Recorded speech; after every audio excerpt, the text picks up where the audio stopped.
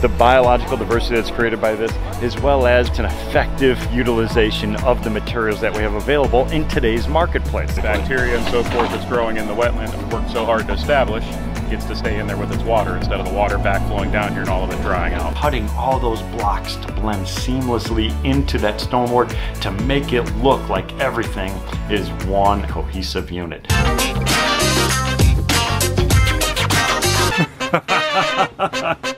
hey, what's up everybody? Ed the Pond Professor here back in my office. This is a little bit different for me for this particular vlog and the reason I'm saying that is last week we were in the middle of the recreational pond build. Everything looked great I thought but then we had a lot of questions that started popping up regarding a couple of the details that were actually inside of that project. That under subliner drainage system so that system that evacuates the water from underneath the liner. There was a lot of questions about that and I don't think we did a good job of actually filling in some of those details. So I want to take a little bit of time out to show you exactly what that is. The other piece that I think we kind of missed on was the act of the wall construction. Now you've seen us setting large boulders, you've seen us putting in all the gravel and the cobblestones and the beaches and the logs and all that type of stuff but we didn't show a lot of the information on that architectural block wall. There's some different things that you have to think about when you're designing it and installing it in a liner type of an installation. So let me kind of go over a couple of these little things that, that I'm talking about. I actually pulled up here the drawing of the Bruggen Pond. So this is that site plan, so it's that overhead view that's showing you that overall layout. So what I want to do real quick is I'm just going to show you exactly where that drainage system actually was designed. So this this is that deep area kind of right over in here. So that's the deep spot. So what we did was we started getting water right around this line here. So this whole section was kind of flooded down in the bottom. Had uh, well over a foot of water inside of it. This was a little bit wet over in here, but not too bad. So it's just really, really damp soil. So what we did was we cut a little bit of a trench right down the middle of all this stuff and then it kind of looped around and it went out over this way and then it went into that sump pit. So that was located on the outside of that screened in area. The reason we did that is we could actually add a pump periodically inside of there. Now you saw the size of that unit. We could actually put a pump in there. We could pump the water out. And in fact, if the Bruggens ever need a source of water on their property, they could actually put a pump inside of there and actually utilize some of that groundwater for watering some of their plants and things in and around the property. So it's actually kind of nice to have. The time you're definitely have to do that is when you ever drain the pond down. And the reason I say that is once we take that water out of there, we're not gonna have the necessary weight on top of everything. So what's gonna happen is the liner is actually gonna bubble up. So I did a little bit of a sketch here. You can kind of see that little drainage pipe popping out over here. So we put that drainage pipe in and then we actually carved in where that sump pit was gonna go. We had a static water line approximately right over in here. So that was the static water line. Now this is the dry period in Florida. So during the wet period, that water level is actually gonna pop up sub substantially higher, which could be a bigger problem. So which is why we wanted to put all this stuff ahead in the beginning. We put in that drainage pipe, we put a little bit of a trench down in the bottom. So we dug out a little bit of a pocket, went into this little sump area located over here on the side. This gives us a path of least resistance. So basically what that is, when we have all that weight, when we have all of the weight of all of the entire pond on top of everything, pushing down, it's gonna force water through this pipe and it's gonna go over into this little sump area. And what's gonna happen is it's actually gonna stabilize right at that same water line. So again, this is all just physics. So what we're trying to do is we're trying to figure out what's actually happening. What are the forces that are happening here? And we wanna resist those forces. So when the pond is full of water, we have positive pressure, one cubic foot of water. A cube of water is 62 pounds. So when you have many, many cubic feet on top of that liner, it's gonna put a lot of pressure down. When you combine that with all the rock and the gravel and that type of stuff, there's a lot of weight that's actually pushing on top of the liner and that's gonna force all of that water over into that sump pit. Now the second thing that I wanna describe here is I wanna go over that block wall installation. So that architectural block wall, because we wanted to have a nice clean look. We wouldn't wanna have these massive boulders sitting down in the bottom because this pond was kind of small. So if we put in these large boulders, it's gonna take up unnecessary space down in the bottom and it actually takes a lot of time to set these uh, large boulders. We need the equipment. The rocks are very expensive down in Florida, but this block, this concrete block is relatively inexpensive, readily available, and it's quick and easy to install once you have the base material in. Now the problem we had on this project was because of the groundwater. Remember that groundwater was all the way up in here. What was happening when we were building all of this, we dug out a little bit of a trench here so you can see the excavation just kind of coming down and around. We kind of made a little bit of a depression about six inches deeper than the bottom of the pond put in some crushed base material. This is gonna allow us to grade that out and it's gonna provide a stable base for these large blocks to sit on. The problem we had on this project, and we didn't show all these details because this vlog would last for days. It'd be a lot, a lot of stuff actually happening. When we put that base material in place, it was actually pushing, being pushed up by the liner. So we had to constantly have our pump running. We were pumping water out from the bottom. We were putting the base in there. We were putting sandbags on top of it and everything to kind of create that positive pressure until we were able to build that block wall. That power of water is unbelievable. It's going to push stuff around, so we have to counteract that. So that's why this is kind of a unique project because we had a couple of these different things happening simultaneously. We put down our heavy layer of fabric, rubber liner, another layer of the fabric. We over excavated the area right underneath that wall.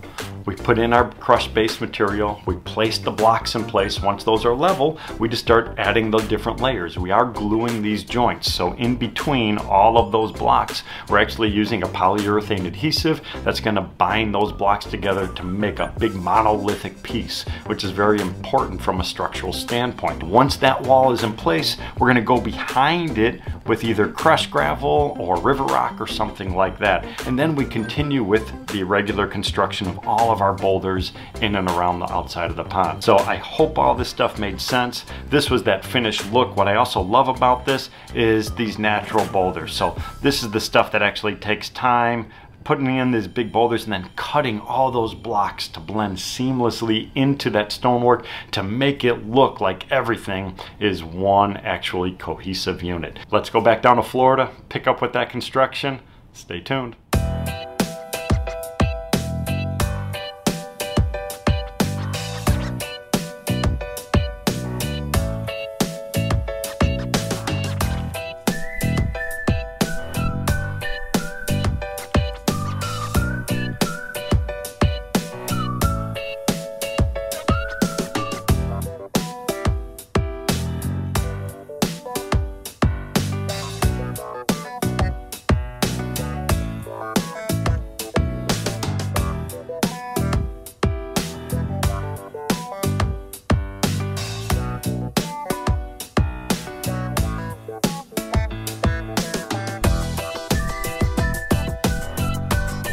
We are now coming in and digging out that secondary shelf area, which is gonna tie into that main waterfall. Our next steps will be to install our wetland filter back over in this section, as well as building up the elevations for the water. Tony right now is getting ready to finish up all the intake stuff over here for our pumps. So this system is going to use external pumps. So the water is going to get suctioned up from here out the outside of the pond to the pumps. These check valves are going to be put in line here and the one-way flapper valve in there, if the power is shut off, it'll still keep water in this line instead of back flowing down.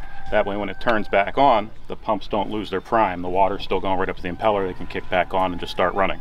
Does right. double duty for them and it's going to keep all of that water charged in the pipe system all the way up to the waterfall basically. Good bacteria and so forth that's growing in the wetland that we've worked so hard to establish gets to stay in there with its water instead of the water back flowing down here and all of it drying out. Perfect. All right, looking good. Gonna drop in the last few rocks along this back edge and this is basically because it's all sand. If we leave this open for another week or so, it's gonna have a high possibility of starting to collapse in.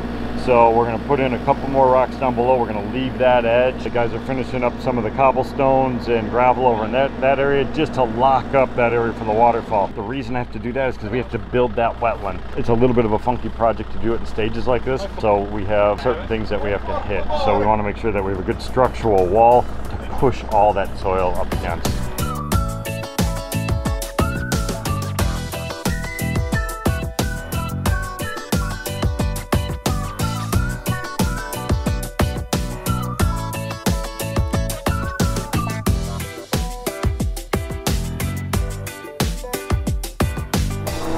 Flexibility of that liner system. So we're able to manipulate everything, and I said this earlier, we oversized the liner so we have plenty of material going well beyond the area that we need it. This allows us that artistic freedom to actually set where the rocks look good and then we could manipulate the excavation to accept everything. It gives us a much more fluid insulation process and I really think it makes a big difference with the overall look as well. Another thing that I want to stress when I start talking about rubber liners from an environmental standpoint, not only the biodiversity that we're going to have with creating an ecosystem like this, but the carbon footprint of working with a rubber liner, literally a fraction of the amount of the carbon footprint of a concrete system.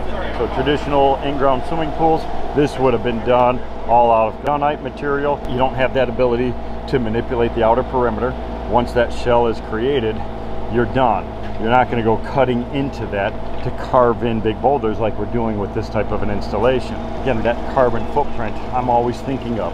This material weighs a third of a pound for every square foot. Now, if you're looking at a concrete style system, and depending upon the thickness of the concrete, I'm just gonna say six inches thick for the sake of this discussion. A six inch thick slab of concrete, 12 inch by 12 inch, is gonna be about 75 to 80 pounds. So a big difference talking about a carbon footprint is the manufacturing process. The process of creating concrete uses a lot of greenhouse gas type material. So it's using a lot of fossil fuels through the curing process to off-gas that limestone. The material that we make our concrete out of is coming from limestone, which is calcium carbonate. So what they have to do is they mine it. So you're gonna pull out that raw material, you're gonna heat it up, and it's gonna actually expel a lot of carbon dioxide off into the atmosphere. But I do wanna talk about the biological diversity that's created by this, as well as an effective utilization of the materials that we have available in today's marketplace. Years ago, this, this material was not available. It was used in other types of construction. So now we have this material available to us, so we're utilizing it as effectively as possible to create incredible works of art. I'm loving this.